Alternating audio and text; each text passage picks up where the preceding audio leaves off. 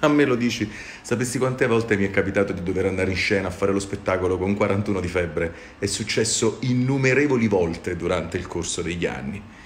Camma fa. Non c'è dubbio. il prossimo 8 marzo ne faccio 55. Pinelli è un cretino, conta quello che dice Speranza.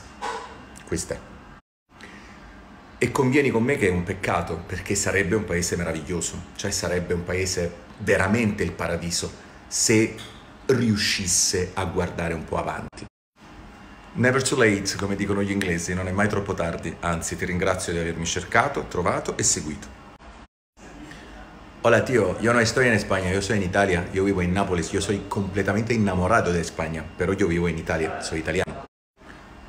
Assolutamente sì, potendo nella maniera più assoluta sì, ci mancherebbe altro. E che quando dici dittatura la gente chiaramente pensa alla Corea del Nord, in realtà non è così.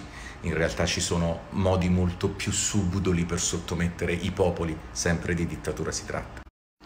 Ma magari fosse, ma magari potessimo fare come la Gran Bretagna, ma magari fosse, ma non ci contare.